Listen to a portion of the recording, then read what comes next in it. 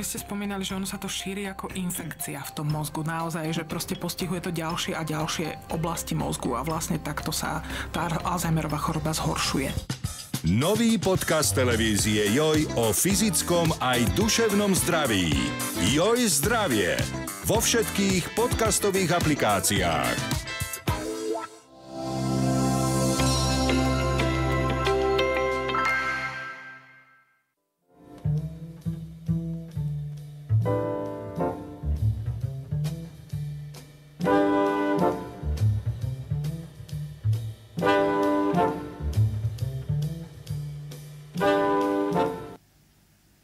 Ahoj Peter. Ahoj Arpad. A vítam aj našich divákov a poslucháčov a... Diváčky a poslucháčky. Ktorých zaujíma, o čom mudrujú dvaja politickí komentátori, keď spolu miešajú kávu. E, v podcastovom štúdiu televízie Joj v Bratislave hostuje komentátor denníka ZME Peter Tkačenko a ja som Arpa Čoltes, komentátor televízie Joj a hostujem v pražskom e, podcastovom štúdiu Investigace CZ. Inak e, tie, my, tu, my tu máme také podobné omeškanie, ako mal Erik Kaliňák v ČT24, že to trošku kazí diskusiu, ale my máme oveľa väčší priestor si na to zvykať, tak hádam sa budeme trochu zlepšovať. A tým sme si aj otvorili naše obvyklé okienko na seba reflexiu. To sme mali... Lebo veď, e, vlastne prvý profesionálny synovec e, v dejinách slovenských vlád e, zjavne citoval z tohto nášho podcastu. Úplne zjavne a očividne. Ja by som sa možno aj ohradil voči slovu citoval. Teda možno, že ten citát bol presný, ale zďaleka nie úplný. Ale áno, máme ako si povedal priestor na, na sebareflexiu, ale toto je vlastne taká reflexia na, na teba reflexiu, keďže Erik uh, Kaliňák hovoril o nás. Počkaj, počkaj, počkaj. My sme niečo museli urobiť, teda ja som musel niečo urobiť veľmi, veľmi zle. Lebo Erik Kaliňák tam uh, síce tak ako obvykle, ako vychovaný občianskými médiami, na základe alternatívnych faktov povedal, že mňa tak ako chová v, ne, v nejakej miere nejakej úcty. A to teda musím robiť niečo veľmi zlé, keď sa o mne Erik Kaliňák vyjadruje pekne. Treba aj povedať, že prečo si ťa, teda pre, prečo k tebe má nejaký typ úcty, on to aj pomerne otvorene povedal, že preto, že si láskavo odišiel. Horšie je to s nami, ktorí ešte smrdíme na Slovensko a, a robíme im zle vidíš, to som vlastne eh, prešiel aj k tomu, na čo som chcel zareagovať, lebo on ako eh, takto pre tie diváčky a poslucháčky, ktoré to nevideli a nepočúvali, eh, hovoríme o rozhovore Erika Kaliňáka pre Českú televíziu, kde sa ho vypitovali na ten reštriktívny prístup k médiám a zvolený slovník a tón keď eh, hovorili o ja neviem, nepriateľských médiách, ktoré nie sú vítané na pôde úradu vlády a podobne. No a Erik Kaliňák si tam pomohol mojimi eh, slovami, keď eh, ilustroval zvrhlosť slovenských médií tým, že veď predsa oni sami, konkrétne ja, čo inak tu by som povedal, že ja nie som hovorca ani denníka, sme tým menej nejakých ostatných slovenských médií, či už priateľských alebo nepriateľských alebo iných No a že som povedal, že podľa mňa tam majú novinári chodiť, aby im robili zle. No ja som to skutočne povedal a aj ty si sa ináč vlastne voči tomu ohradil vtedy, keď sme sa o tom rozprávali a ja som to dovysvetlil, že e, myslím to tak, že novinári, keď kontrolujú vládu, konfrontujú politikov, chcú od nich počuť odpovede, tak eh, veľakrát robia veci, ktoré sú tej vláde nepríjemné. Napokon eh, tá vláda, keby jej to bolo príjemné, tak by rozprávala eh, všetko, čo by bolo potrebné, ale vlády to nerobia, alebo politici vo všeobecnosti. A aj preto sú tu novinári, ktorí ich nejakým spôsobom tlačia k múru, vypitujú sa, dávajú nepríjemné otázky alebo píšu nepríjemné veci a, a názory. No a týmto spôsobom vlastne nedá sa vykonávať to remeslo bez toho, aby si politikom robil zle. To je akože nie je že hlavný cieľ robiť im zle, ale obsahom tej práce je nevyhnutne, že, že to politikom nejakým spôsobom, eh, neviem či ubližuje, ale ale škodí, nie je im to príjemné. Ja, ja si myslím, že to je úplne zrejme. Ak kto nie je zlomyselný, tak to pochopil, alebo teda nie je úplne funkčne negramotný. A napokon to bolo vidno aj v tom rozhovore s tým pánom novinárom, ospravedlňujem sa, nezapamätal som si jeho meno. Ten redaktor zjavne robil Erikovi Kaliňákovi zle a takto vlastne tá práca má vyzerať. Čiže on to ilustroval na tom rozhovore s Erikom Kaliňákom, čo mám na mysli, keď hovorím e, robiť politikom zle. To znamená, nie škodiť im preto, aby som im ublížil, ale preto, že to je proste náplň mojej práce. Toto to je nevyhnutný e, dôsledok. No, takto, ja vždy hovorím, že slova sú dôležité e, a ich obsahy a my sme nominári, čiže o to viac by sme si na slova mali dávať pozor. A Problém je v tom, že v štandardnej demokracii novinár, ktorý kontroluje politika aj tým, že mu kladie nepríjemné otázky, mu naozaj nerobí zle a dokonca ani ten politik, ktorý je teda naozaj demokratický politik v liberálnej demokracii, to neberie tak, že mu niekto robí zle. On nemusí mať v danom okamihu radosť z, z konkrétnej otázky, ale vo všeobecnosti politici akceptujú, že e, táto kontrola vlastne v dlhodobom horizonte pomáha aj im, e, že ich chráni pred nejakými prešľapmi a pred e, celkovým úpadkom systému, v ktorom v konečnom dôsledku aj oni pôsobia a e, ktorí prevádzkujú, čiže sa im nerozpada pod zadkom, ako, ako sa rozpada na Slovensku občanovi. Ale ja som chcel dovysvetliť Erik, Erikovi Kaliňákovi, inak vieš, ani ten e, moderátor ČT24 mu nerobil zle. On mu kládol otázky. Ale kládol mu normálne vecné otázky, ktoré smerovali k tomu, že chcel zistiť, prečo sa slovenská vláda nejakým spôsobom rozhodla, ako sa rozhodla, ako dospela k tomu rozhodnutiu.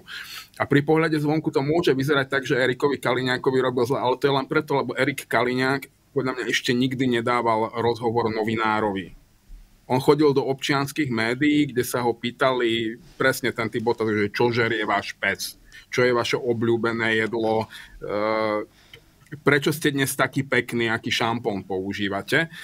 A e, on, no, profesionálny synovec ne, nebol pripravený na to, že bude dostávať vecné otázky, ktoré by mu mohli byť nepríjemné. Čiže to mohlo pri pohľade zvonku vyzerať tak, že mu moderátor robí zle, ale on sa ho úplne normálne pýtal. Čiže predpokladám, že e, ČT24 tiež už nebude e, vítaná e, na Slovenskom úrade vlády, ale takisto ju tam asi budú musieť pustiť, lebo zatiaľ zákon nepustí, kým ho nezmenia.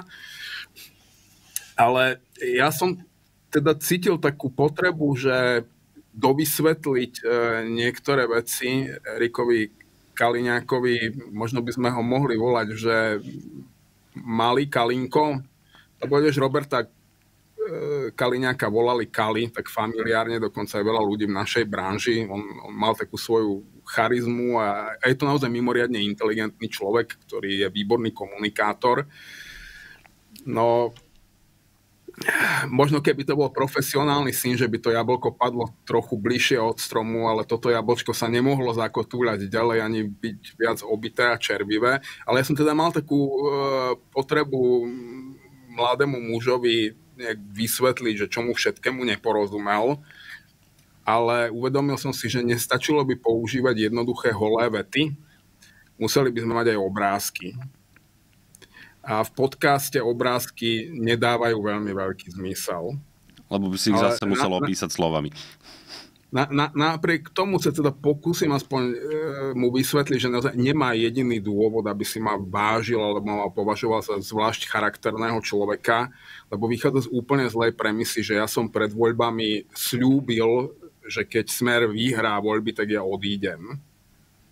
E, ja som to naozaj nesľúbil. Neviem si predstaviť, že komu by som to sľuboval a neviem si predstaviť, že prečo by som to niekomu sľuboval. Takže koho to vôbec zaujíma. A na, naozaj racionálny dôvod mi uniká. Ja som si proste na základe volebného výsledku vyhodnotil, že ke, keďže tie voľby boli naozaj demokratické, slobodné a férové, ne, nemôžeme povedať, že boli akýmkoľvek spôsobom manipulované,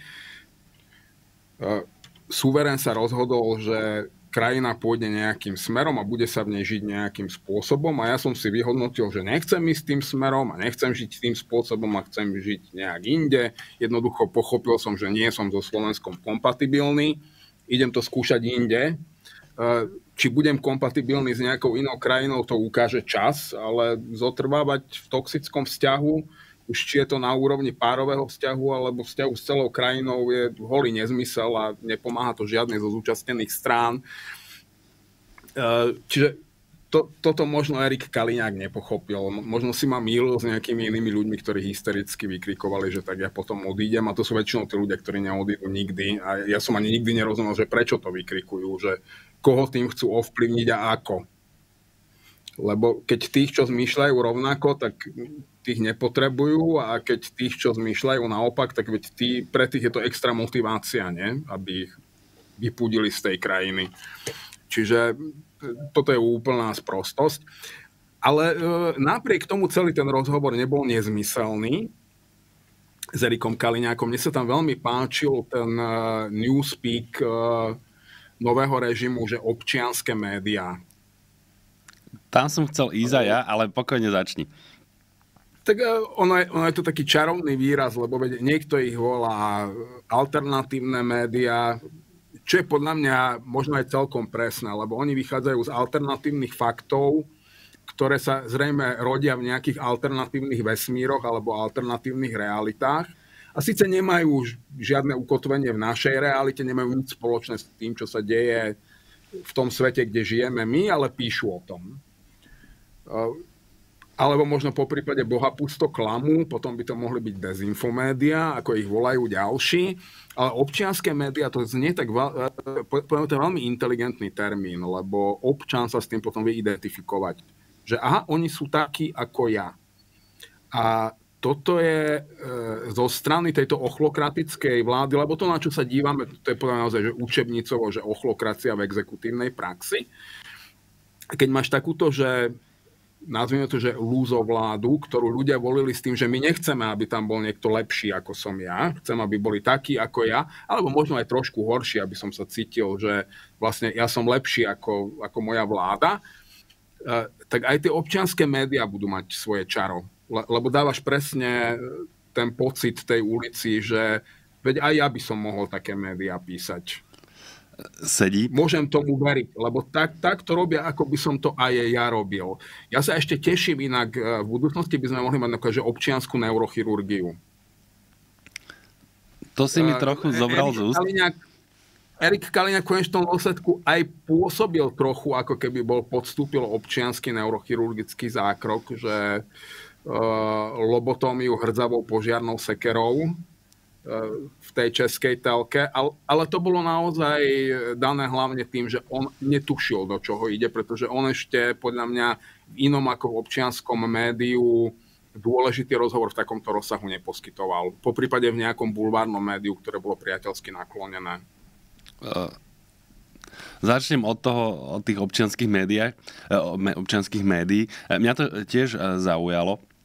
Je to naozaj veľmi asi slovo newspeak e, to, to, to vystihuje, že chceš nejakým slovom zakryť podstatu toho, o čom rozprávaš. A ja si tu pomôžem e, Braňom Bezákom, lebo asi, asi nikto, e, teda ja, ja určite by som to nepovedal lepšie, ako to on vystihol ktorý si všimol teda tiež tento názov občianské média a, a pokúsil sa to vysvetliť, čo je to za sprostosť a ako to zakrýva podstatu toho, čo to v skutočnosti je, lebo rozprávame sa väčšinou o, o konšpiračných žumpách, proruských propagandistických plátkoch a, a podobne. Tak on vysvetlil, že toto sú že občianské médiá asi tak, ako úžerníci sú občianskí bankári, alebo pol, e, pytliaci sú občianskí polovníci. Ja by som k tomu e, trebárs dodal, že mafia v tomto zmysle je ob, občianským orgánom činným v trestnom konaní, vieš, od polície až, až po vykonávateľa popravy. Čiže nie, toto nie sú žiadne občianské médiá, respektíve sú áno v takom zmysle, ako e, mafia je proste orgán na výkon spravodlivosti a asi taký majú vzťah. No, čiže k tomu moc lepšieho povedať neviem, Ale čomu by som, voči čomu by som sa asi trochu vymedzil, ja som sledoval, čo sa dialo, nedalo sa tomu uniknúť na tých eh, sociálnych sieťach, kde to proste všetci zdieľali s tým, že ako teda ten Erik Kaliňák tam dostal asi, že krutú porážku a, a že odišiel zdecimovaný a zničený a presne vlastne s podobnou argumentáciou, ako si použil ty, že on vlastne ešte žiadnym normálnym médiám nečelil, tak bol nepripravený. Čo v nejakej miere sedí, podľa mňa to, čo si tam e, pripravil, alebo mu nejaká pravá ruka, lebo ja si nemyslím, že on by práve pozerával náš podcast. Možno áno, ale, ale skôr si myslím, že to budú tam nejakí také, že, že nižší poskokovia z tých nižších vrstiev, alebo z tých uh, spriaznených občianských médií ako Airport a podobne, vie, že mu tam pripravili nejaké 2-3 citátiky a on to proste chcel v tej relácii použiť, čo aj urobil a, a potom, keď narazil na nejaký typ konfrontácie, tak trochu hapkal, ale podľa mňa to naše hodnotenie je strašne skreslené tým, e, že sa na to pozeráme z tej svojej strany. Podľa mňa, keby si sa spýtal ľudí z tej strany Erika Kaliňáka, tak by ti povedali, že vlastne on to úplne bez problémov ustal, že vlastne ešte zdemoloval toho moderátora, ukázal mu v plnej nahote, e, akým nepristojným spôsobom sa správajú tie slovenské nepriateľské mainstreamové E, média a podobne. A a ja som tiež nemal taký pocit, že by, že by to bolo nie, niečo ako strašidelné pre toho Erika Kaliňáka. On sa tam úplne nerozsypal, udržal vlastne pokojnú líniu a, a pokojný a e, hlas. Občas ten úsmev bol dosť silený samozrejme, ale mne sa zdalo, že, že v zásade na to, ako málo má skúsenosti, akou občianskou chirurgiou e, možno prešiel, že v zásade to ustal. Samozrejme, že inak si predstavujem, že by mal pôsobiť v médiách domácich aj zahraničných eh, predseda zboru poradcov predsedu vlády. To naozaj má byť iná trieda človeka, tak toto poviem, že na, naozaj na všetkých úrovniach. Ale vzhľadom na to, čo tam je, tak mne sa zdá, že slušný výkon. A ešte mám poslednú poznámku k tomu, čo si e, rozprával, to naozaj e, len v stručnosti, keď si spomínal to, že tebe sa zdalo logické neudržiavať toxický vzťah so svojou krajinou. Tu ja by som Samozrejme, že máš na to úplne plné právo a je, zbytočné voči tomu nejak argumentovať. Toto ani nechcem, chcem len povedať svoj, svoj postoj. Že ja to vlastne neviem takto vnímať. To je proste... Samozrejme, že sú výkyvy dobrým, horším a ešte horším smerom a prípadne takým smerom, ako je to dnes. Ale pre mňa stále platí, že to je proste moja krajina a neviem si predstaviť žiť v inej naozaj, že kým sa tu nejakým brachiálnym spôsobom e, neútočí na moju slobodu, tak ja si to neviem predstaviť. Ja som to dokonca aj skúšal viackrát v živote, som nejaké e, životné obdobia strávil v cudzích krajinách a zistil som, že proste ja nemôžem. Proste mne po dvoch týždňoch e, chýba vlastne celkom dobre to vystihol Šúty, teraz vydával knižku, tak mal k tomu batériu e, rozhovorov a, okrajovo sa tam venoval aj tento, tejto téme akože odchádzania a tak a on to povedal, že e, ako ja môžem žiť v krajine, kde proste e, nestretávam ľudí, ktorí chodili na tie hodiny chémie ako ja a proste neprešli si, vieš, v tom rovnakom prostredí, že keď sa vlastne nedá plnohodnotne rozprávať s ľuďmi, ktorí nemajú to isté pozadie. Prepač, hovor, ja už som dlho rozprával. Zredukujme to, toto je strašne filozofické a je to rídzo osobná vec. To bez pochyb. Ty to máš tak, ja to mám inak a ešte nejakí ľudia to majú úplne inak. Ehm, ja napríklad aj tak nestretávam ľudí, s ktorými som chodil na chemiu, čiže mi to naozaj šumafúk. Ehm, chýba mi moja knižnica, to bude chvíľku trvať, kým ehm, si ju tu znova dám dohromady ale chcel som len dovysvetliť, že vlastne v tomto medzi nami nie je sporu. Ja rozumiem tomu, že volič Roberta Fica bude vnímať Erika Kaliňáka presne tak, ako chce byť Erik Kaliňák vnímaný. Preto aj hovorím, že te, tie občianské médiá, to je podľa mňa veľmi inteligentný koncept, ktorý bude do istého času v strednodobom horizonte to bude veľmi dobre fungovať A dokonca nie som si úplne istý, že ho vymysleli Erik Kaliňák, tam by som e, hľadal niekoho trochu skúsenejšieho a vzdelanejšieho a bystrejšieho, ako je šéf poradného zboru predsedu vlády. E, len toto bol rozhovor pre českú verejnoprávnu televíziu. Videlo ho obrovské množstvo ľudí v Českej republike, ktorí žijú v podobnej realite ako my dvaja, nie v tej alternatívnej e, realite občianských médií. A tam je to teda hamba preveliká. A, a ona bude mať e, v istom zmysle následky, ja teraz nehovorím, že zásadné, ale všetci ľudia v Česku, ktorí majú dôvod, povedzme profesionálny dôvod si všímať slovenskú politiku, si tento rozhovor so 100% zárukou pozreli a je im jasné, že ako asi vyzerá poradný zbor slovenského predsedu vlády, tým pádom aj rozumejú, ako asi vyzerá vôbec uh, odborná kapacita uh, úradu vlády a ako asi bude vyzerať výkon slovenského úradu vlády. A budú tomu prispôsobovať uh, svoju prácu, keď keď nej narazia na Slovenskú republiku normálne ako na nejakého oficiálneho partnera, tomuto sa nevieš vyhnúť. Čiže v tomto zmysle to určite nebol užitočný rozhovor. Navyše, celé tie občianské médiá budú krásne fungovať naozaj ja teda dúfam, že v strednodobom horizonte, ale oni môžu aj dlhodobo, dokonca aj nastálo, len čo si podľa mňa ešte nikto v okolí Erika Kaliňáka, eh, marketingového mága, šéf poradcu hlavného konsilieriho Roberta Fica neuvedomuje, že občianské médiá sa týmto v podstate stávajú postupne médiami hlavného prúdu. To sú tie médiá, ktoré sú e, systémové, pretože tento systém, ktorý teraz inštaluje Robert Fico, ich bude uznávať ako, ako oficiálny nástroj svojej propagandy.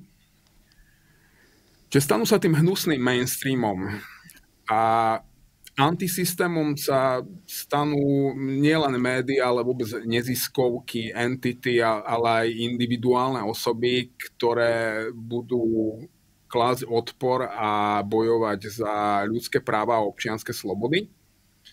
No a antisystém je vždy oveľa viac sexy ako systém. Ich, ich to jedného dňa jednoducho dobehne že oni budú ten zlý systém. E, samozrejme, ak bude systém dostatočne zlý na to, aby aj prachiálnym spôsobom siahol na tvoju slobodu, e, tak to tým antisystémovým prodemokratickým občanom už nejak nepomôže. Tu by som asi bol opatrnejší v tom hodnotení, že tie antisystémové alebo občianské médiá sa stanú systémom a, a že tak budú vnímať. Ono to v nejakej miere fakticky bude sedieť, hej, keď budú vlastne priamo spolupracovať alebo budú predlženou rukou alebo budú nie nepriatelia slovníkom Roberta Fica vlády to je pravda, že vecne by, by to sedelo, hej, že sú to systémové médiá, ale podľa mňa tá ich, tá ich nálepka tej alternatívnosti alebo nie mainstreamovosti e, vyplýva z niečoho iného a to práve to, čo si vravel, že oni, oni čerpajú z iných ako skutočných faktov a, a z tých alternatívnych a podľa mňa na, na tejto ich podstate sa nič nezmení. To znamená, že, že tá ich alternatívnosť e, bude stále účinná, bude platná. Vieš, tam pri tom pri tých nie mainstreamových médiách v zásade nejde o to, o, o ich veľkosť alebo intenzitu e, kolaborácie s nejakým politickým krídlom, ale práve o tú ich šibnutosť, alebo a, ako to nazvať, proste to, že čerpajú e, z iných ako skutočných faktov. Veď to by sme našli viacero e, takýchto e, prípadov podľa mňa. E, nie, že by som bol odborník na americkú mediálnu scénu a ani tú televíziu nesledujem, musím čestne povedať, ale zdá sa mi, že, že takto je vnímaná napríklad Fox. Vieš, že to je veľká, obrovská televízna sieť, ktorú sledujú naozaj mnohé milióny ľudí a nie je to že doslova alternatívne médium, to, to asi by nebolo férové, ale ono si so sebou nesie to, že ono informuje iným spôsobom ako tie uh, plnohodnotné mainstreamové médiá, vieš, ako máš uh, v Amerike, čo veľmi nápadne tradičné denníky New York Times a, a Washington Post a podobne. Že podľa mňa táto ich alternatívna nálepka im vlastne právom zostane, pretože oni budú naďalej čerpať z alternatívnych faktov a vykladať ich alternatívnym spôsobom. No my na nich tú alternatívnu nálepku lepiť budeme, ale mnohí ich e, na ňu lepiť budú, ale ja nehovorím o tom, ja hovorím o systéme a antisystéme. A tu sa naozaj mení politický režim, bude sa meniť systém a tieto médiá budú súčasťou systému a aj systém bude vychádzať e, z alternatívnych faktov v alternatívnej realite, tým som si takmer istý v konečnom dôsledku už si videl šéfa poradného zboru predsedu vlády, ktorý e, priamo operoval alternatívnymi faktmi. Už v tomto konkrétnom prípade, veď len čo vieme o nás dvoch, tak vieme, že vlastne e, nič z toho, čo hovoril, nevychádzalo úplne presne s faktom, možno okrem jedného slovného spojenia, že robiť zle. Všetko ostatné bolo úplne mimo reality, čo tam trepal. Len vo vzťahu k tebe alebo ku mne. Tie, tie Rozumiem, ale sa zdá, že nemáme spor. Ale, ale je to šéf poradného zboru predsedu vlády a predseda vlády bude pracovať e, s tou kvalitou informácií, ktorú mu bude predkladať jeho poradný zbor, v ktorom sú naozaj, ktorému šéfuje Erik Kaliňák a jeho členom je Eduard Chmelár. No ako asi bude vyzerať výkon politiky? Aj ten bude vychádzať, aj ten bude kompletne alternatívny. Že alternatívom sa stane systémom. A keď sa ľudia nebudú v tom systéme cítiť dobre, tak začnú siahať po všetkom, čo je antisystémové. No a antisystémovým sa stane vlastne opäť, tak ako to bolo do roku 89, to, čo bude prodemokratické, čo, e, čo bude túžiť po právach a slobodách. Dobre, budem si to musieť premyslieť, ale zastaň, zatiaľ zostaňme pri tom, e, že si to nemyslím, že, že by to takto malo byť. Ale dobre, to opäť asi vychádzame z toho predpokladu, že, že ty vidíš intenzívnejšiu, hĺbšiu a horšiu nadchádzajúcu zmenu režimu ako toxický optimista ja. A z toho potom asi, asi vyplýva ten zvyšok, že áno, keby som si myslel, že tu bude nastolený režim z roku 83, e, potom by som asi súhlasil, že, že väčšina populácie sa primkne k alternatíve, ktorá bude vyznávať to, čo sa nám dvom páči, ale myslím si, že dnes, dnes nenastane ten prvý krok, takže potom ani tie ďalšie. Ale toto je e, rozpor, ktorý tu pestujeme dlho a, a netrpezlivo čakáme, kedy to rozsekneme. Čo, vlastne ty si vravel, že to tak dlho nebude trvať, takže čo skoro sa dozvieme a, a potom sa možno aj prestanem usmievať pri tejto téme. Už sme to a aj... potom sa možno prestanem aj rozprávať e, v týchto štúdiách. Vlastne podľa toho sa to spozná, no, to je pravda. Áno. Mohol by to byť jeden zo signálov. Dobre, môžeme použiť oslý mostík k téme číslo 2? Ehm, určite áno, myslím si, že tu, tejto sme venovali oveľa viac času, ako sme chceli a navyše jej adresát nemá šancu do detajlov rozumieť tomu, čo sme hovorili. A možno mu to na nejakých obrázkoch vysvetlia, teda aby som sa vydal potom oslom mostíku jedným zo strojcov e, toho režimu, pred e, ktorým ani nie, že varuješ, ale ktorý predvídaš, má byť Matúš Šutaj Eštok, náš obľúbený minister vnútra, ktorého odvolávanie v parlamente sa završilo neúspešne z pohľadu, aby to nás náhodou niekto neobviňoval, že tu niekomu držíme alebo nedržíme palce, tak neúspešne z pohľadu navrhovateľov, ktorým boli, ak sa nemýlim, vlastne všetky, koľko ich je, raz, dva, tri, štyri, opozičné strany, pretože za odvolanie nehlasovalo 76 poslancov, čo asi ani e, nikto príčetný neočakával, ani 71, koľko ich má opozícia, ale bolo ich 61. No a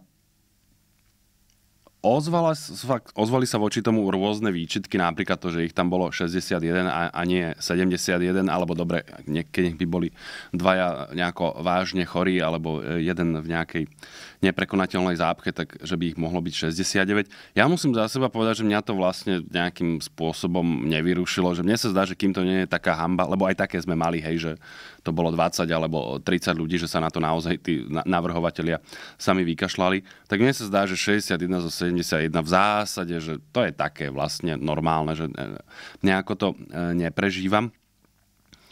Skôr mi tam prekážalo, a to je taká širšia téma, mm, to, že vlastne my očakávame, alebo veľká časť verejnosti sa mi zdá, že očakávala, že opozícia sa má zjednotiť a, a, a prejaviť nejaký typ akože koalície v opozícii alebo proste schopnosť dohodnúť sa, ukázať na nepriateľa a tak, čo ja s tým celkom nesúhlasím.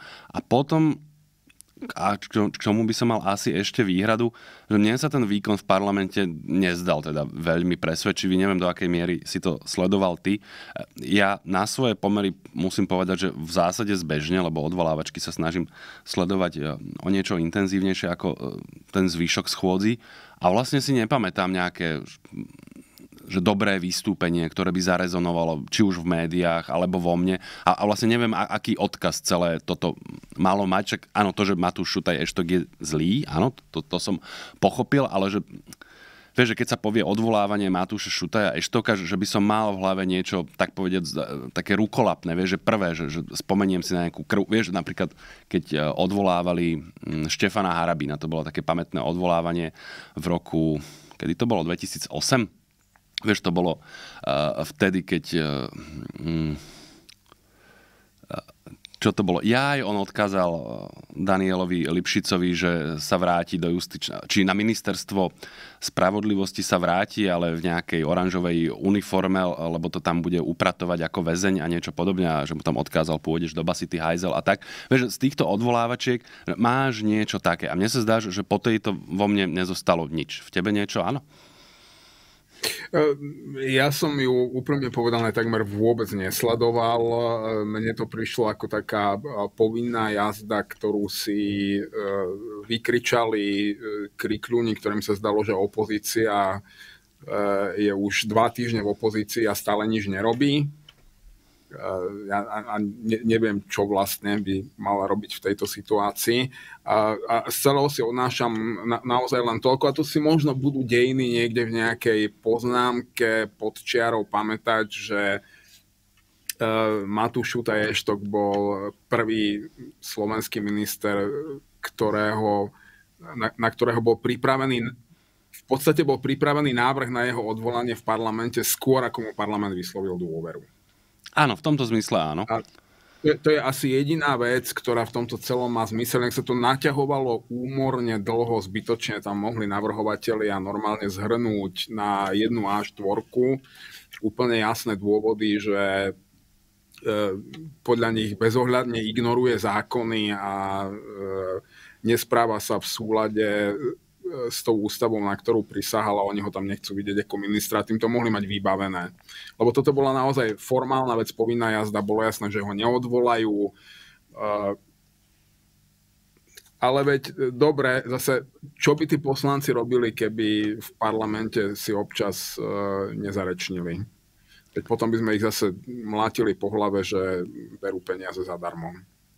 Ja musím priznať, že ja nie. V tomto ja som e, zástanca e, toho, že no, ani ja nie. nemusia sedieť v pléne, že ich, ich úlohou je, je niečo iné, že oni zastupujú aj inými spôsobmi, ale Um, aha. My dvaja nie sme tí, ktorým vyhrávajú voľby, vieš. To je pravda, to je pravda. Ale mal som k tomuto jednu vec, lebo prišiel mi dnes ráno alebo včera večer e-mail od jedného diváka, poslucháča, neviem presne, ktorý e, sledoval e, naše a asi e, najmä moje výhrady voči tej spolupráci opozície, kde som teda osobitne upozorňoval, že, že naozaj nerozumiem, prečo treba ťahať medzi seba členov Oľano, pretože no, videl som tam viacero zlých dôvodov a on mi vysvetlil, že no, a že veď práve preto ich tam treba ťahať, aby sa ukázalo akože že existujú rôzne stupne zla a že tým najvyšším stupňom zla je je Robert Fico a Smer a podobne. A Igor Matovič a Oliano iste nie je niečo, čo by sme mali radi, ale práve tým, že sa s ním spojili, tak ukázali, že aha, aké obrovsk, akému obrovskému zlu čelíme, keď sme schopní podať si ruku trebárs aj s Igorom Matovičom alebo jeho emisármi. Ja som si to poctivo prečítal akurát pochopil som, ako to ten uh, divák a poslucháč myslí. A akurát ja k tomu mám proste, že iný postoj, ja, ja inak to zlo škálujem ako on a, a potom mi výjdu aj iné výsledky. Pre mňa Igor Matovič a, a jeho hnutie nie je o nič menším zlom ako napríklad Robert Fico a, a jeho režim, lebo on to tu že vlastne cieľa vedomo nainštaloval, aspoň ja si to myslím, poky, samozrejme, že on e, nebol schopný e, dať Robertovi Ficovi 25% hlasov a tak ďalej, ale svojou záškodníckou e, činnosťou, vrešťaním, obviňovaním, demolovaním všetkého, čo videl, naozaj intenzívne išiel za tým, aby to dosiahol. A podľa mňa sa z toho teraz aj primerane teší, čo, čo vidíš z toho, akým spôsobom rozpráva, ako hovorí, že aha, vidíte, ako vám ten Robert Fico robí zle, ha, ha, ha, a, ale za to si môžete e, vy sami. Že on, on z toho má naozaj úprimnú radosť. Čiže dobre, ja už som vlastne divákovi a poslucháčovi odpovedal a zdalo sa mi, že si trochu aj prikyvoval. E, tu naozaj medzi nami nie je sporu. Igor Matovič a Robert Fico sú úplne rovnaké zlo, ktoré speje k úplne identickému výsledku len rôznymi cestami.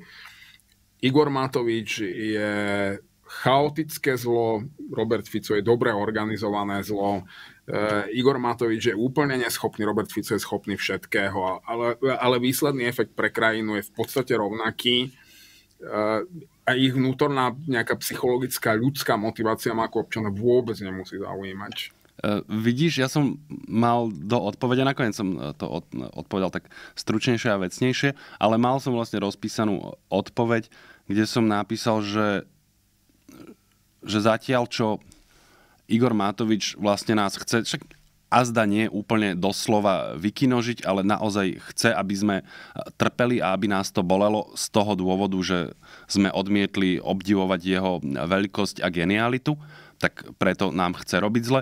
Robertovi Ficovi, on nám nechce robiť zle nejako intenzívne, ale on chce, aby on sa mal dobre a je mu úplne jedno, či popri tom, koľko ľudí láhne popolom alebo materiálnych statkov a podobne, alebo ako sa vykriví spravodlivosť a demokratický režim a, a že z tohto si vyberať niečo horšie alebo lepšie, to naozaj nie, takže tá paralela podľa mňa sedí skôr trochu inak, že tak ako bolo úplne v poriadku odstrániť eh, vládu Igora Matoviča a potom teda v zastúpení Eduardom Hegerom spoločne s Robertom Ficom a nebolo vôbec potrebné preto stáť na tlačovke a potriasať si rukou eh, s Robertom Ficom alebo Petrom Pellegrini alebo Kotlebovcami a podobne, tak rovnako je úplne v poriadku teraz stáť v opozícii voči eh, vláde Roberta Fica a usilovať sa o jej demontáž.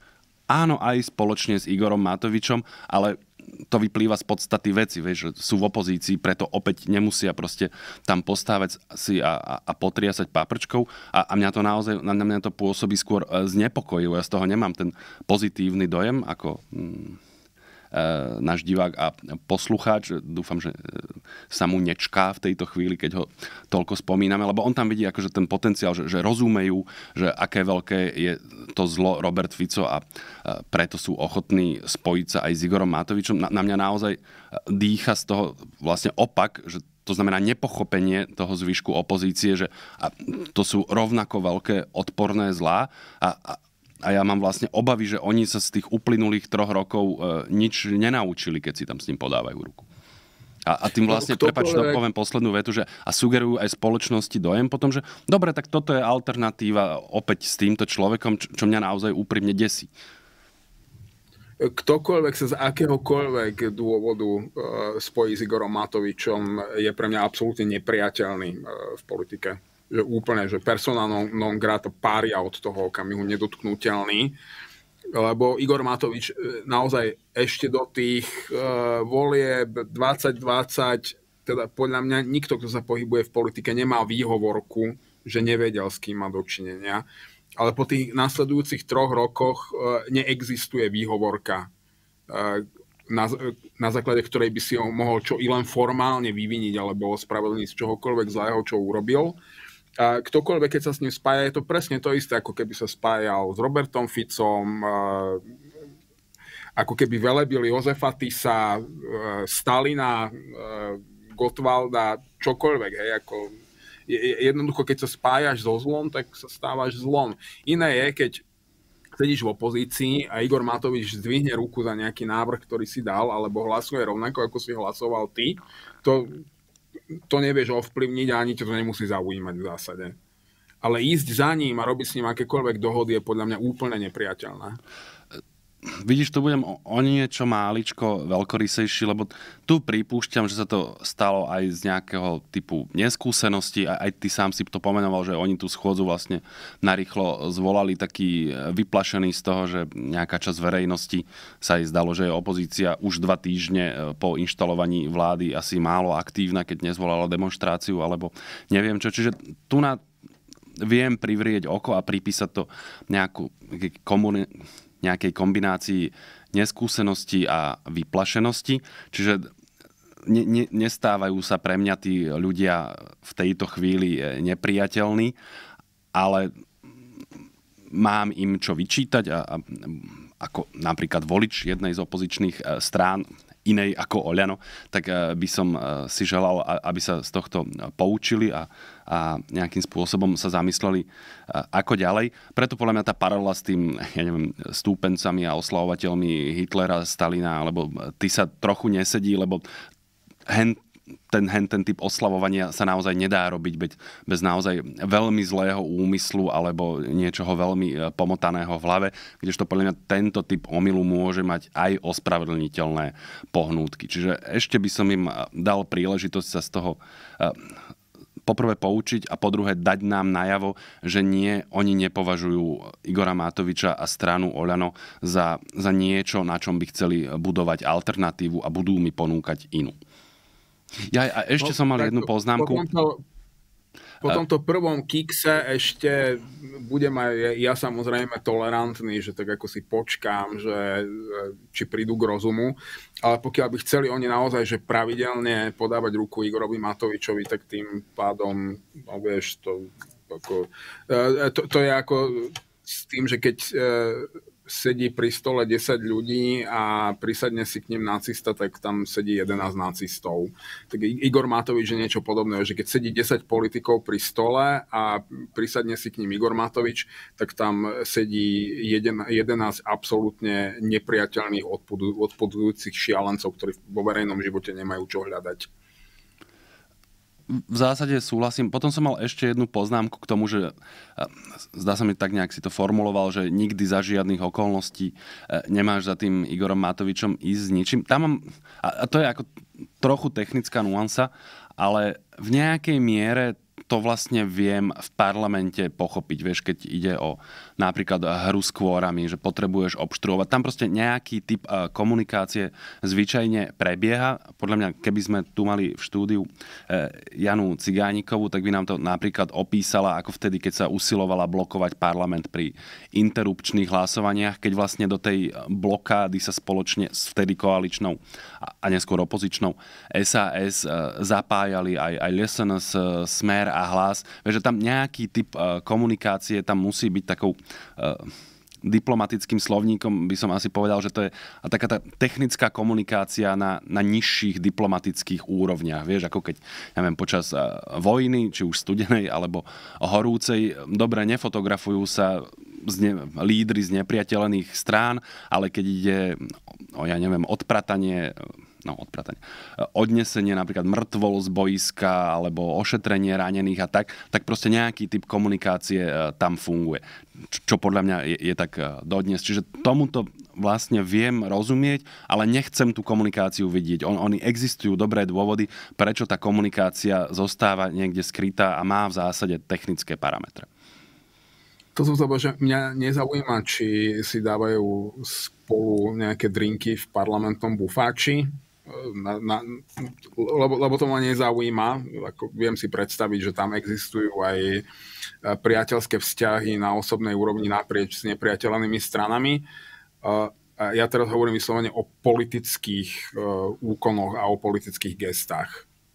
Ja som predpokladal, že si rozumieme, len som to chcel pre divákov a poslucháčov a diváčky a poslucháčky objasniť, ako to máme na mysli v parla... Možno takto, že nemôžeš legitimizovať Matoviča v očiach verejnosti bez toho, aby si sa stal Matovičom aj ty, tak trochu. Tak trochu, áno, to sa na teba trochu nalepí. No, asi v parlamente zostaneme. Ja tu mám takú tému, ona asi bude zaujímať e, málo ľudí, ale je dlhodobo moja obľúbená, takže nemôžem to obísť a to sú skrátené legislatívne konania. V tejto veci sa aj táto vláda intenzívne činí. To je, nech sa páči. Ja, prosím ťa, skrátené legislatívne konania skús vybaviť v skrátenom konaní.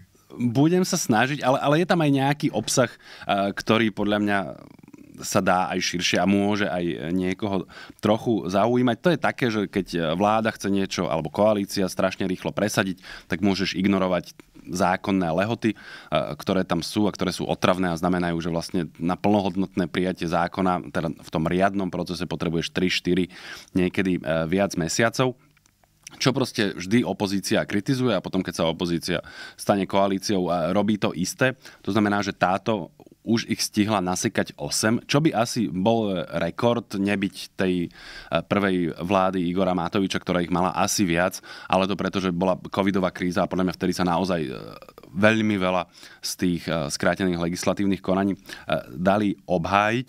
No, tu je to trochu problematickejšie, lebo v tom skrátenom napríklad je teraz návrh na zriadenie nášho ministerstva e, športu a cestovného ruchu, alebo cestovného ruchu a športu a tak.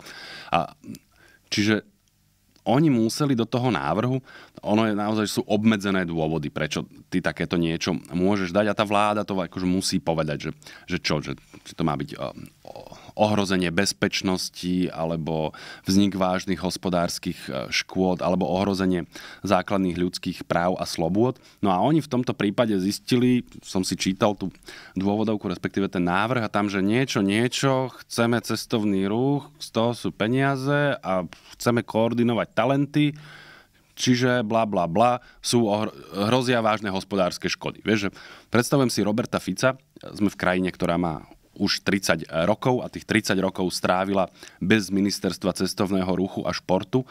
10 rokov z toho bol Robert Fico premiérom a existovali sme bez tohto ministerstva, ale teraz sa strhne zo spánku, vie, že preboha, my nemáme ministerstvo športu, hrozia nám závažné hospodárske škody. No, dlho Prepač, sa rozprávam.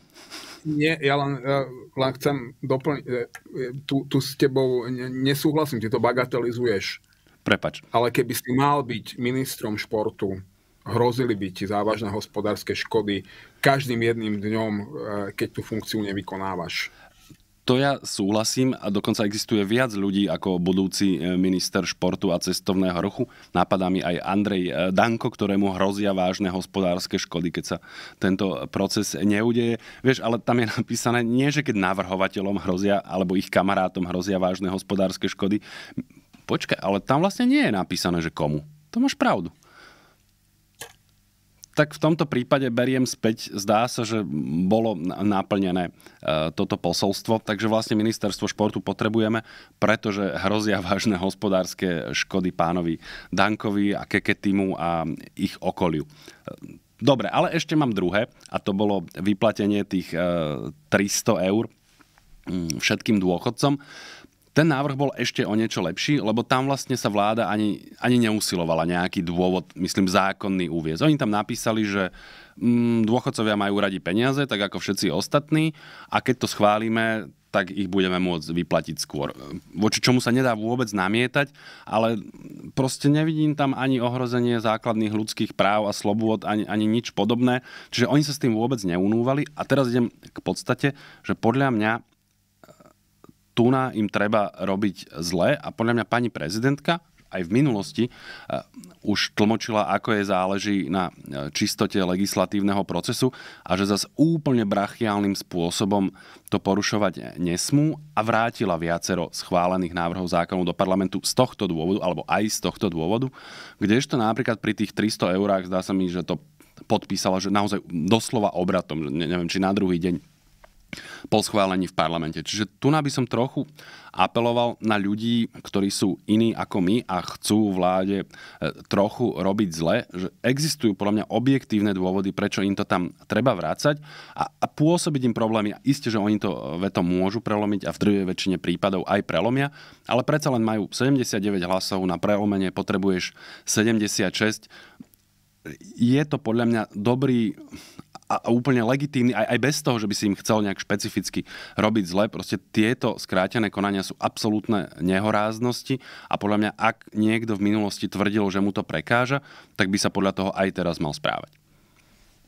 Pozri sa, vieme, že hlava štátu je e, ľudský veľmi príjemná, milá, empatická dáma, ktorá si predstavila tých chudákov dôchodcov, ktorí by nedostali svoj darček kvôli nej. Jasné, že to podpísala. E, teraz bez irónie, áno, ja si myslím, že presne takto to bolo a že takto ona aj uvažuje. Rovnako to vlastne bolo aj pri Uh, počkaj, ako to bolo? Áno, aj pri, pri tom Matovičovom tzv. on tomu hovoril prorodinný balíček, podľa mňa presnejšie označenie by bolo probankrotový balíček, kedy to pani prezidentka podpísala, ale zároveň sa obrátila na ústavný súd. E, rovnako to vlastne bolo pri ešte tých pôvodných 13 dôchodkoch, ktoré schválila ešte tá, tá Ficová koalícia z SNS a, a Most Moc za to teda vlastne tuším nehlasoval, no proste prešlo to vtedy tesne pred voľbami 2020 a ona to podpísala a poslala na ústavný súd, aby sme sa teda dozvedeli, či e, takéto niečo je v poriadku. My sme sa to potom neskôr dozvedeli pri tom probankrotovom balíčku, že nie je, prepač, posledná veta a, a podľa mňa tu na, ak ak si chce stať za svojím, tak malo to tiež nepodpísať. Alebo teda vrátiť. Nemôžeš jej pri, nemôžeš jej pripísať aspoň zištný motiv v tomto okamihu, lebo vtedy si ešte mohol. Lebo ešte mohla e, kalkulovať s tým, že bude kandidovať do ďalšieho funkčného obdobia a budú jej otlkať o hlavu, že ona išla proti dôchodcom. Teraz toto je ona toto je autenticky ona, bez postranných úmyslov, akýchkoľvek zištných dôvodov. Jednoducho to podpísala, lebo, lebo je to prišlo správne podpísať a, a s tým už neurobiš nič, kým, kým ona neukončí mandát a nenahradí ju niekto iný. Tak cez ňu budú tieto veci podľa mňa prechádzať vždy pomerne hladko a plynule. Bude to mať svoje ekonomické následky pre krajinu, ale však na tie si stačí počkať. To, ani jeden z nás nie je ekonomický analytik, nepúšťame sa mi teraz do dobrodružstva auditovania štátnej pokladnice, lebo podľa mňa zle dopadneme, škaredo narazíme a celá budúca epizóda bude len o ospravedlňovaní sa za e, zle zrátané veci. Ale tie skrátené legislatívne konania, e, že ich pretláčajú, tak to, je to v podstate pretláčanie zákonov bagrom cez parlament e, z jediného dôvodu, preto lebo môžu. A túto cestu im už prebagroval Igor Matovič. To, o tom to je škoda hovoriť. To, to, toto je nová norma. E, súhlasím a s tým, čo si povedal na začiatku, že že to tak e, jednoducho budú robiť a že je to nová norma. Akurát podľa mňa nie je celkom škoda o tom hovoriť. E, podľa mňa to treba pripomínať, teda aj vysvetľovať, prečo je to nehoráznosť, aj napríklad pripomenúť, e, kto to robil pred nimi, akým spôsobom, z okolností som o tom včera písal aj komentár, tak som si schválne pozrel napríklad, ako vznikalo ministerstvo pani Veroniky Remišovej pre informatizáciu a regionálny rozvoj, rozvoj, či ako sa to presne volá. No a čuduj sú svete, tiež to prešlo v skrátenom legislatívnom konaní a tiež za to hlasovala vtedajšia celá koalícia a tiež sa v tom návrhu na skrátené legislatívne konania e, argumentovalo hrozbou vzniku vážnych hospodárskych škôd, keby nevzniklo ministerstvo Veroniky Remišovej. Čiže v tomto tá opozícia bude mať trochu problém, teda pomerne veľká časť opozície.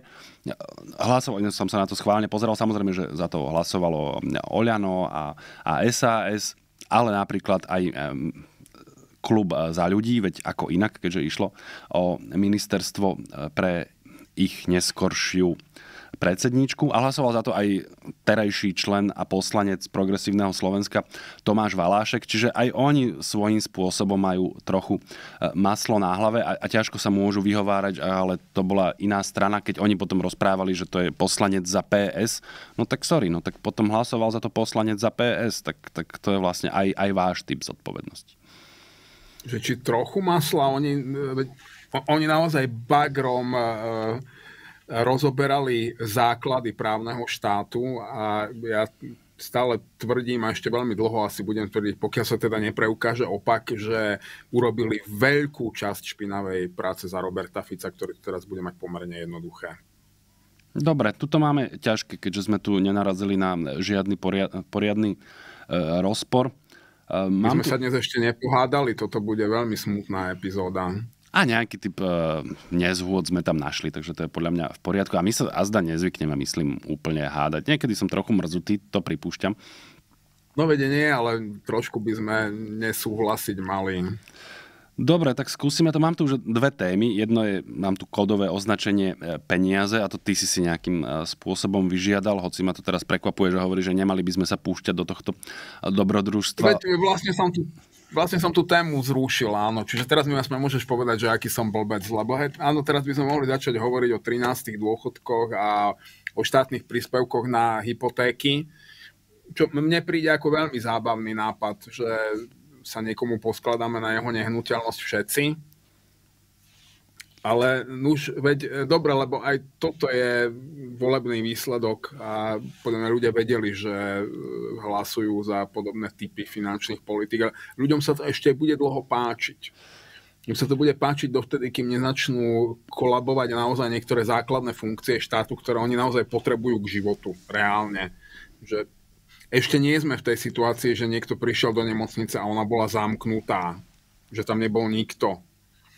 Uh, alebo že mu horel doma, zavolal hasičov a nikto ani nedvihol telefón. Alebo že síce zdvihol, ale povedal, že hasiči nie sú a neprišli. Uh, lebo keď sa tá štátna pokladnica veľmi rozháť, že aj takéto situácie môžu nastať, no a potom začne ľuďom dochádzať, že niektoré darčeky sú veľmi predrážené a nakoniec si ich zaplatia sami.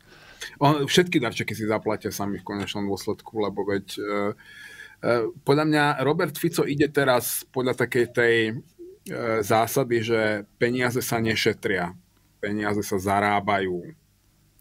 Len ja som zvedavý, že kde on chce tie peniaze zarobiť to sa dozvieme, to som chcel povedať, že tu sa nám stretáva e, naozaj e, veľa tém pri týchto témach, ako napríklad tých e, dôchodkoch a, a dotácií na hypotéky, pretože napríklad skús trikrát hádať, akým spôsobom predkladajú zákon o tých hypotekárnych dotáciách Áno, uhádol že si. v skrátenom konaní? Uhádol si, ide to v skrátenom legislatívnom konaní. Aj tento návrh som si prečítal. Argumentujú tam tým, že oni posilňujú v nejakej európskej sociálnej charte, či v ktorej Marí tam proste našli nejakú poznámku o, o práve na bývanie alebo niečo také, takže to tam proste zašili do toho návrhu, že oni týmito dotáciami posilňujú toto právo, takže vlastne logicky to treba schváliť v skrátenom legislatívnom konaní. Ďalšia téma, ktorá sem mm, vstupuje, je taká tá dilema, že či vlastne máš koalícii a, a v akej podobe jej pripomínať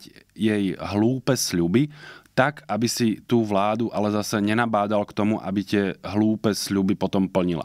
Pretože napríklad podľa mňa aj tento návrh s týmito hypotékami v nejakej miere vyplýva z toho, že dotieravé médiá chceli vláde robiť zle a vypitovali sa teda, že akým spôsobom a kedy e, budú niečo robiť s, s tými hypotékami alebo e, s tými zvyšujúcimi sa úrokmi, pretože Robert Fico aj Peter Pellegrini si z toho pred voľbami robili tému, myslím si, že Robert Fico viac. No a tu nám vlastne máme výsledok, že ja neviem, koľko presne toto má stať, toto nemám úplne v hlave, ale bude to asi v rovine, že veľa desiatok, respektíve málo stoviek miliónov, tak okolo stovky by som to typoval, čo, čo nie je vec, ktorá by nás mala zrujnovať, ale podľa mňa je to také, vieš, že je to ďalšia slámka na, na chrbát tej povestnej ťavy e, a, a nie, ktorá už jej potom e, zlomí väzy. Ja si nemyslím, že to dojde až do takých dôsledkov, že e, doslova nebude nikto na požiarnej stanici. To podľa mňa teda aj, aj v padlých štátoch ešte niekto býva, ale áno, tie dôsledky budú bolestivé. V nejakej miere to vlastne už vidíme v samozprávach. Zdá sa mi, posledná veta, čestné slovo, že, že Košice idú do nejakého typu mm, nútenej správy, asi to nie je technicky presný pojem, a, a budú musieť obmedzovať nejaké typy služieb. Prepač, nech sa páči. Ja ti len niekedy potrebujem skočiť do reči, lebo chcem reagovať iba veľmi podčiarou na, na to, čo priamo hovorí, že na hasičskej stanici, a prosím, nie, požiar, nie sú to požiarníci, oni nezakladajú požiare, oni ich hasia. Sú to hasiči. Keď povieš hasičovi, že je požiarník, rýchlo sa o to, že utekaje. Čiže na tej hasičskej stanici niekto skoro určite vždy bude, lebo hasič nie je profesia, dokonca to nie je ani povolanie, to je životný štýl ale keď nebude mať naftu v aute, nepríde. Zdvihne ti telefón, ale nepríde, lebo on tú cisternu na chrbte naozaj nevie odvliesť, akokoľvek veľmi by chcel. Uh, ale teda ešte som chcel, uh, aha, k tým skráteným legislatívnym konaniam, že mám technickú otázku, lebo ty ovládaš tieto technikálie podstatne lepšie ako ja. Aj uh, zákon o štátnom rozpočte sa dá pretlačiť v skrátenom legislatívnom konaní? Tam je to komplikovanejšie. Aj som sa, vidíš, z okolností som sa o tom e, rozprával s kolegom. Štátny rozpočet totiž nejde tými tradičnými troma čítaniami. Tam vlastne prvé čítanie úplne odpada.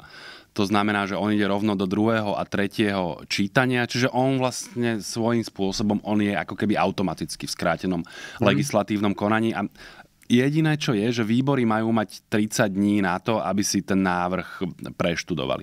Ale mne sa zdá, že toto zvyknú predsedovia parlamentu tam tú lehotu dať oveľa kratšiu. Ja neviem, či to je, a, aký typ predpisu sa na to vzťahuje, ale rozpočty vedia schváliť naozaj e, veľmi rýchlo. Že tým, že to ide proste hneď do parlamentu a hneď do druhého, tak tam vlastne skrátené nikdy nepotrebuješ.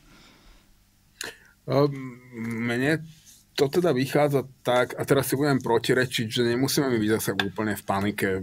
Dobre sa tu príjmajú nejaké opatrenia, ktoré sú drahé, potom príde nejaký štátny rozpočet, ktorý bude nejak nastavený a ani nevidím dôvod, aby to poslanci vo výboroch nejak študovali alebo čítali, alebo vôbec, aby, aby pozerali, o čom budú hlasovať, lebo v konečnom dôsledku sa vie spolahnúť na to, že celú tú záležitosť bude mať e, pod kontrolou poradný zbor Roberta Fica. Teraz si ma aj trochu vydesil. Keď oni, a keď oni povedia, že takto to bude v pohode a to ustojíme ako štát, čoho sa, čoho sa máš báť? Áno, ak by o tom mal rozhodovať poradný zbor Roberta Fica, tak sa treba bať absolútne všetkého, ale myslím si, že konkrétne financie a rozpočet sú také veci, ktoré teda Robert Fico svojim poradcom zvyčajne do paprči nedával. A teda určite nie je takým Kamenický. poradcom ako Eduard Chmelár. Kamenický to zachráni. Prepač, áno. Veď oni tam majú vlastne špičkového experta na financie, som na to úplne zabudol. Nie, nie je ťažké na ňo zabudnúť, ale ďakujem, že si mi ho pripomenul. On určite má tiež svoj poradný zbor. Ja rozumiem. Má určite Kaliňákov a Chmelárov, nepochybuj o tom. Ja absolútne e, rozumiem e, tvojej irónii a sarkazmu, ale teda aj ten, aj ten pán Kamenický je teda, že je to o dosť lepšie, keď zostavuje rozpočet Ladislavu Kamenický z on ho nezostavuje so svojimi poradcami, ale s profesionálnym ansáblom, ktorý myslím si, že ešte stále na ministerstve e, financií je. Je to naozaj veľmi o dosť lepšie, ako keby to pripravoval zbor poradcov Roberta Fica. Až to začne pripravovať zbor poradcov Roberta Fica, tak vtedy poviem, že naozaj teraz už nám hrozí niečo veľmi, veľmi vážne a, a finančne sa to tu rozsype za 27 dní ešte zatiaľ to bude o niečo lepšie, ale súhlasím s tebou, že bude veľmi zaujímavé sledovať, aký rozpočet predložia. Podľa mňa oni a, cítim tam, to, toto má náp- optimizmus je možno silné slovo, dáva mi istý typ nádej, že sa mi zdá, že z ich komunikácie je cítiť, že oni vnímajú, akému typu problému čelia, že ten rozpočet musí dávať v nejakej miere e, zmysel. A ani nie tak e, op- kvôli, išiel som to povedať, kvôli, kvôli investorom, respektíve kvôli finančným trhom, tým musíš nejako ich presvedčiť, že ak aj nemáš hneď plán na to, ako, ako tie verejné financie upratať, tak aby si aj o 10 rokov vedel splácať svoje dlhopisy, takže si aspoň uvedomuješ, že to budeš musieť urobiť. Ešte presne uvidíš ako, ale že si uvedomuješ hĺbku toho problému. A ty tie finančné trhy v tomto presvedčiť musíš, už sme sa tu o tom rozprávali, proste od toho je Slovenská republika a tým pádom aj najvyššie politické poschodia absolútne bytostne závislé, že ty vieš, ja neviem kedy, e, nejaký tretí pondelok v mesiaci, či kedy robia tie dražby Ardal, že oni, keď vyhlásia tú aukciu, tak ty tie dlhopisy za 500 miliónov alebo miliardu 200 miliónov jednoducho predáš, lebo ty tie peniaze potrebuješ. Ty, ty bez nich nie si schopný plniť základné funkcie tak, ako si ich opísal. Mám otázku. Dnes sa budem asi viac pýtať, ako mudrovať. Vylučuje maďarská cesta grécku cestu? Nie. Nevylučuje. Hmm. Pre... Dobre. Ja aj ty si mi chcel povedať, že, že môžeme mať oboje, hej? Veď, veď uvidíme, ne, počkáme si na ten rozpočet, uh, ale on má vždy ako keby dve zložky, ten štátny rozpočet. Jedna je naozaj tá odborná, ktorú tí úradníci na ministerstve, ktorí sú naučení skladať rozpočty, že nejak to tam urobia a nakreslia, aby to matematicky dávalo zmysel, ale tá dôležitejšia je tá politická že niekto dá zadanie, že kam peniaze pôjdu a kam nepôjdu, trebárs, kam nemusia ísť. My už vieme, Robert Fico povedal, že v pohode, že on ušetrí, vezme armáde, tá, tá skončila, tá, tá nebude tak štedro podporovaná ako doteraz. E, nie, nie je problém, odteraz už vojaci nebudú mať ani topánky a ponožky čo, čo je úplne jedno, bojaschopnosť našej armády je na úrovni nie veľmi smiešného vtipu.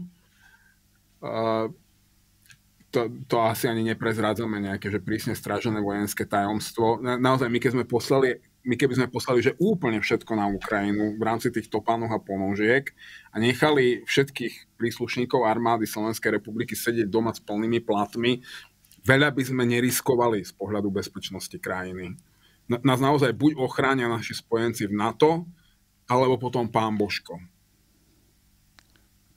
Ale naša armáda so 100% zárukou nie, nie preto, že by tí ľudia, ktorí v nej slúžia, nechceli alebo nevedeli, ako, že ako to majú urobiť, reálne to nemajú s čím urobiť. Oni sú podvyživení, odkedy odkedy nejaká armáda existuje slovenská samostatná. Čiže, čiže tam Robert Fico môže zobrať, ale, ale neviem koľko a neviem, čo z toho vykrie. A, a ten, vieš, ten, ten Kamenický len bude musieť plniť tie politické zadania a tí úradníci, chudáci pod tým Kamenickým tiež len budú musieť nejakým spôsobom vyskladať tie čísla do, do tých mantinelov, ktoré im nakreslia. Takže počkajme si, čo, čo vláda predloží do parlamentu ako návrh štátneho rozpočtu. Podľa mňa sa na tom budeme veľ, veľmi dlho a výdatne zabávať. Možno nám to vydá aj na jeden celý diel. Vieš čo, keďže ja som v trochu inej situácii, tak e, toto je napríklad vec, na ktorej by som sa že nerád zabával. V zmysle, veď pozabávam sa, ale po, potom by som na to aj e, dráho doplatil. Takže áno, som samozrejme zvedavý, ale toto je konkrétne vec, v ktorej tej vláde vlastne úprimne držím palce, že aby to poskladali ako tak príčetne a aby niekto príčetný, kto tam e, sedí pri tých dražobných termináloch, e,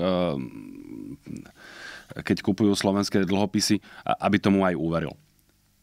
Čiže máme záverečnú tému? Máme ešte čas na naozaj zábavnú tému, predpokladám. Áno, áno. Skvelé.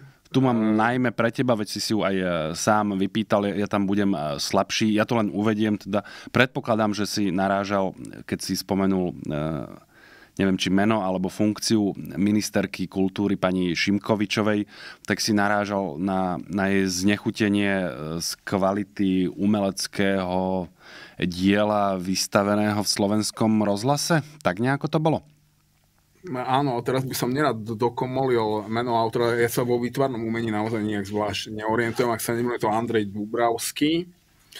A je to naozaj výtvarník, maliar, umelec, ktorý e, je zo Slovenska a ktorý je známy vo svete práve pripravuje výstavu v New Yorku napríklad. Ale, on je naozaj medzinárodne uznávaný autor. Jeho meno poznajú vo svete. Naozaj poznajú. Je, je, je skvelý a v rámci toho sa ti napríklad môže úplne pokojne aj nepáčiť, lebo to je normálne, že nie všetky slávne obrazy veľkých umelcov sa každému páčia. To je, v, to, v tom umení je to naozaj, uh, tam, tam je to najviac jasné minimálne dospelým ľuďom, že nikomu sa nepáči všetko a nič sa nepáči každému. Čiže ministerke propagandy sa môže úplne legitimne nepáčiť e, jeden z jeho obrazov, ktoré sú vystavené v budove slovenského rozhlasu. A dokonca to môže aj verbalizovať. No, no, no, no kľudne by mohla povedať, že fuj, to je hnus. Lebo to nemá žiadnu relevanciu. Ona, síce existuje nejaký obrázok ministerky propagandy, ako si pravdepodobne niekde doma patla nejaký svoj autoportrét, ktorý No, 12-ročné e, deti, ktoré chodia e, do takej tej výtvarnej školy popri normálnej škole, ako sa to volalo, kedy si to, sa to volalo ľudové školy umenia, alebo tak nejak, e, majú podstatne vybrúsenejšiu techniku a hlavne lepšie výtvarné videnie a farebnosť a kompozíciu a čokoľvek. Ale e, veľa napríklad aj e, znudených žien v domácnosti, keď už deti odrastú, tak si začne doma patlať nejaké insitné obrázky a, a keď sa v tom nachádzajú, tak je to úplne super lebo to nejakým zmysluplným spôsobom naplňa ich život, aj keď teda rozhodne nie život ich okolia a už vôbec nie nejakej širšej kultúrnej verejnosti. Ale teda existuje taká fotografia, na ktorej ty vidíš zhruba, že e, kam siaha schopnosť e, ministerky propagandy vnímať výtvarné umenie, lebo keby ho mala len priemerné, tak sa nenechá vyfotiť s tým autoportrétom, lebo, lebo by vedela, že, že, že to nie je dobré. Dokonca aj keď aj v čase, keď ešte nemala záujem o funkciu ministerky propagandy, by bola vedela, že toto nechceš ukazovať. To, to, to je pre teba, to je tvoj intimný vnútorný svet, ty sa týmto zabávaš, keď uh, už máš urobenú aj manikúru, aj, aj pedikúru, aj vlasy, aj, aj v posilke si bola a už aj kávu si vypila, aj pohár vína si si dala a manžel ešte stále nie je doma a ty si tam v Rakúsku za hranicami a, a ne, nemáš tam nejaké kamarátky, nikoho tam nepoznáš, tak ideš do svojho ateliéru, niečo si tam patláš. Uh, Mimochodom, smutný príbeh Adolfa Hitlera nás učí, že niekedy je e, lepšie aj e, takýchto netalentovaných babrákov e, nechať si v pokoji patlať svoje obrázky a neprimeť ich k tomu, aby si šli kompenzovať svoje komplexy do verejného života. Nože ale stalo sa ale naozaj stále, keby ministerka povedala, že tento obraz je hnusný a ja už ho nikdy v živote nechcem vidieť, e, ten výrok by nehovoril nič o kvalite toho diela, povedal by niečo málo o jej estetickom cítení alebo o jej vzťahu k umeniu. Stále by to bolo v poriadku. Ale ona začala niečo naznačovať o tom, že ona pripravuje nejakú legislatívu, e, aby mohla začať e, to umenie nejakým spôsobom regulovať do nejakých priateľnejších mantinelov. No a toto je už politika samozrejme. Ono e, nevymyslela nič nové. E, pojem Entartete Kunst vznikol v Nemecku v 30. rokoch minulého storočia. E, zaviedli ho nacisti. E, do slovenčiny by sme ho mohli... Do angličtiny sa prekladá ako degenerate art, ako, ako degenerované umenie. Ale Myslím si, že nie som na to... umiení, ktorý je pomerne presný. Na, na zozname umelcov boli naozaj takí ako uh, Oskar Kokoška, Paul Klee, uh, Mondrian, na, na, naozaj veľké mená, on, oni do toho zahrnuli naozaj expresionizmus, impresionizmus, kubizmus, všeličo možné, tí nacisti. A uh, zvrhlé umenie bolo samozrejme nežiaduce a bolo to aj regulované nejakými pravidlami a normami a predpismi. Čiže tu e, ministerka propagandy e, svoju do značkovej obuvy obutú nôžku položila presne na tú hranicu, kde sa tá normálna, štandardná stredoeurópska ochlokracia začína už meniť na nejaký autoritársky režim, ktorý bude určovať, že ktoré umenie je priateľné a ktoré nie.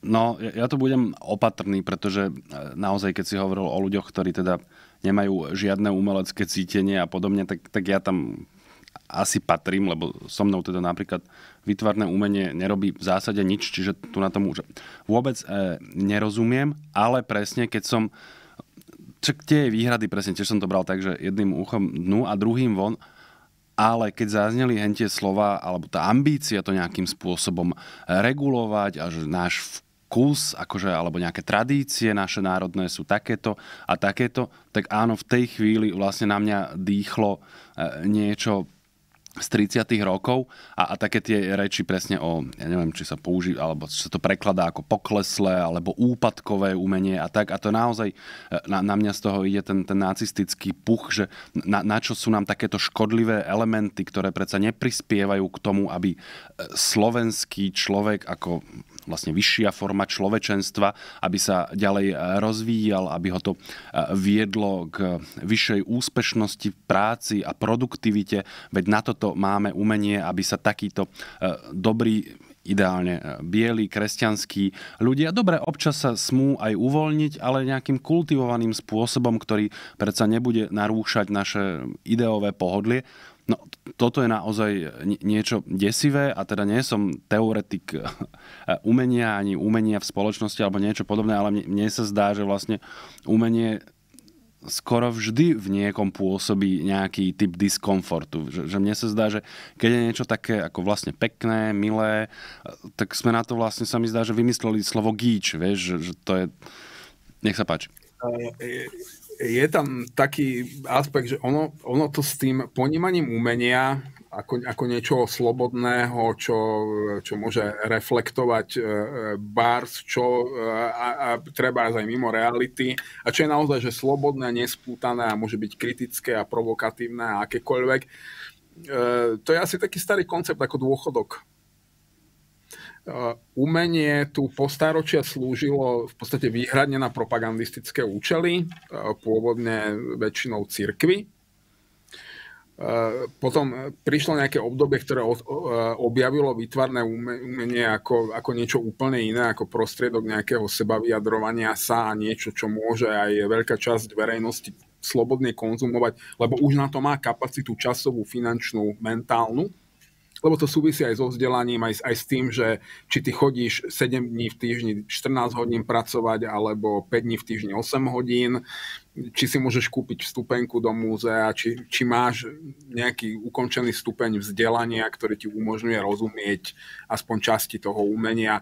Aj keď si kultúrny barbar ako my dvaja, ale predsa keď prídeš do, do nejakej galérie, tak si tam vieš nájsť niečo pekné, čo ťa zaujíma a nemusí to byť nutne gíč ale e, v autoritárskych alebo totalitných režimoch môže slúžiť umenie výhradne na účely štátnej propagandy a na žiadne iné, respektíve na, na, na presadzovanie nejakej konkrétnej ideológie a politických záujmov e, vládcu. Pretože to ostatné umenie, to, to, je, to je presne, to je zo svojej podstaty, to je slobodné, to, to, to, to provokuje, to, e, to kritizuje, to nemôžeš pripustiť, keď si autoritár. A preto ja si myslím, že ministerka propagandy bude so svojím nápadom do nejakej miery úspešná a možno aj viac, ako by dnes väčšina verejnosti očakávala. No, k tomu sa asi žiada dopovedať, že krátko predtým, ako som si sadol do tohto štúdia, tak som si v stručnosti aspoň e, preletel e, článok, ktorý varoval alebo informoval, záleží ako sa na to pozeráš, o tom, že ona má záujem vstúpiť do riadenia umeleckých fondov. Oni, ak sa nemýlim, sú dva také veľké. Jeden je Fond na podporu umenia a, a druhý audiovizuálny fond, ktoré nech ma opravia tí, ktorí tomu rozumejú lepšie, ale sa vlastne nejakým samozprávnym spôsobom organizujú, že sami umelci alebo ľudia, ktorí tomu rozumejú, rôznym spôsobom rozdeľujú peniaze na, na umeleckú a potom špecificky audiovizuálnu tvorbu. Tam natekajú e, peniaze z rôznych zdrojov. Myslím si, že pri najmenšom teda ten audiovizuálny fond to je vlastne dielo osobne Mareka Maďariča, ktorý si kedysi stanovilo za cieľ, aby vlastne oživil a, a založil nejaký fundament pre existenciu e, slovenskej kinematografie, čo pri všetkých Dokonca výhradách k Marekovi Maňaričovi treba povedať, že to je v zásade že veľmi úspešný príbeh. Ja si pamätám, keď sa ten audiovizuálny fond zakladal, sedel som vtedy v parlamente ako, ako spravodajca a ozývalo sa naozaj obrovské množstvo námietok, že kto tam má platiť a, a, a Boh vie, na čo tie peniaze potom pôjdu. A, a tie námietky mali hlavu a petu a, a tiež som mal silný typ podozrenia, že čo, čo za zdroj to tu na Marek Maďarič vymyslel. A, ale ono sa to osvedčilo, podľa mňa, že takmer každý človek, ktorý sa v slovenskej kinematografii nejak pohybuje, tak to potvrdí. Podľa mňa niečo podobné platí pre ten fond na podporu umenia a oni sú aj také úspešné, aj preto, že to je vlastne izolované od, od akýchkoľvek politických tlakov. Možno v nejakej miere tam sú, že ja neviem, ako sa uh, volia alebo vyberajú členovia nejakých rád a, a podobne. A, ale zdá sa mi, že to funguje v zásade odborne a a, a transparentne, ja som vlastne nezaregistroval nejaké e, výraznejšie výhrady doteraz voči ich fungovaniu. No a, a pani Šimkovičovej sa to zjavne veľmi nepáči a, a chce urobiť niečo s tým, aby sa podporovalo um, naše uh, rasovo a ideologicky čisté umenie. Ona to samozrejme uh, takto nepovedala a, a možno, že to tak ani doslova nemyslí, že jej úmysly môžu byť v nejakom zmysle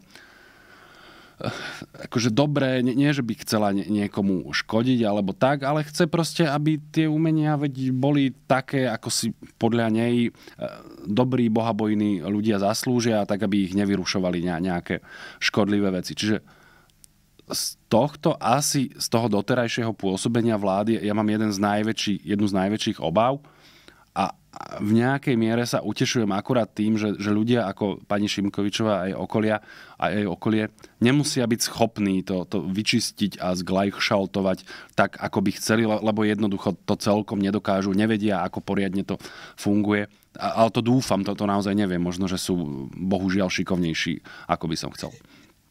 Takto. Uh, umenie, uh, ktoré budú tvoriť uh Slováci, Slovenky e, celkom určite prežije a bude sa ďalej rozvíjať, e, len možno nie v Slovenskej republike. E, v Slovenskej republike určite zostane kultúra. Kultúru má jogurt. Kultúra je oveľa obecnejší pojem. Existuje dokonca väzenská kultúra. Sú potom normálne, že akademické štúdie, že, že čo to je tá väzenská kultúra. No nechcel by si byť jej súčasťou, nechcel by si kultúrne žiť e, vo väzení, respektíve žiť v súlede s väzenskou kultúrou, to si nikto nevyberá dobrovoľne, ale stále je to kultúra. Čiže nejaká kultúra na Slovensku vždy bude. Len tam možno nebude umenie, namiesto to, respektíve bude, a e, tu môžeme dramaturgickým oblúkom sa vrátiť na úplný začiatok e, tejto našej epizódy. Mne sa veľmi páči tento newspeak nového politického režimu, tak ako máme občianské médiá, môžeme mať aj občianské umenie. Jeho veľmi výraznou predstaviteľkou je napríklad ministerka propagandy Martina Šimkovičová. Ako, ako sme mohli vidieť na, minimálne na tej jednej fotke, ktorú som videl ja. Takže stále tu môžeš mať e, štátom dotované a platené občianské umenie, ktoré bude e, vystavovateľné a vystavované vo verejnom priestore, aby formovalo vkus e, ľudu. A umelci, ktorí E, sú dobrí a v podstate my sa môžeme poďakovať, že ako keby oddelia zrno od pliev, lebo tí, ktorí sú naozaj dobrí, no tak tí budú produkovať a hlavne výtvarné umenie nepozná jazykové bariéry, tí budú tvoriť niekde inde pre niekoho iného a možno vo veľa lepších podmienkach a jedného dňa sa ešte možno aj poďakujú, že ich e, presvedčili, aby sa to pokúsili robiť niekde, kde to má zmysel. No, vidím, že ty si naozaj doslova toxický optimista, že ty vlastne e, vidíš e, dobrú koncovku takmer ja vidím vo všetkom. niečo pekné vo všetkom. Mhm. E, dobre, myslím si, že sme vyčerpali témy aj seba navzájom. A napadlo mi to fakt, že úplne pod štyrmi čiarami, keď si hovoril o ľudovej škole umenia, zdá sa mi, že v čase, keď ja som nechodil na žiadnu umeleckú školu, tak sa to volalo základná umelecká škola. E, lebo ľudové školy umenia, to myslím, že boli za socializmu a potom to trochu premenovali, ale to naozaj úplne na okraj. Čiže teraz máš možnosť sa prezentovať dobrými správami v samotnom závere, keďže sa hrali opäť európske poháre, tak ja mám dobré správy, hneď dve, lebo včera vyhral aj Liverpool, aj Slovan. Slovan si tým zaistil tzv. európsku jar. Niekedy ti vysvetlím, čo to znamená. Je to, je to milá a pekná správa pre slovenských futbalových fanúšikov. V zásade aj všetkých, predpokladám. A ten Liverpool samozrejme to len pre nás, liverpoolských súfalcov. Ale veď aj to nás poteší. Ja k tejto záverečnej dobrej správe by som chcel uviesť. E, všimol som si, že vo viacerých podcastoch sa stalo módou, že na záver sa snažia dať nejakú dobrú správu publiku. Nechcem nikoho podozrievať, že to odkúkali u nás ako, ako, ako také milé, milé gesto na záver, ale ja by som teda naozaj už teraz zostal pri tejto našej fixnej štruktúre, že v našom politickom podcaste všetky dobré správy na záver pochádzajú z futbalového sveta. Čo rozmýšľam, či je dobrá správa. Niekto by povedal, že možno e, aj celkom nie. Dobré, dobré správy sú vo futbale. Ak chcete dobré správy, dívajte sa na futbal. Ak vám neprekáža aj trochu tej predvíkendovej depresie, tak budúci piatok e, dovidenia a do počutia. Budem tu aj ja, zatiaľ budem ako na ihlách. Dovidenia. thank you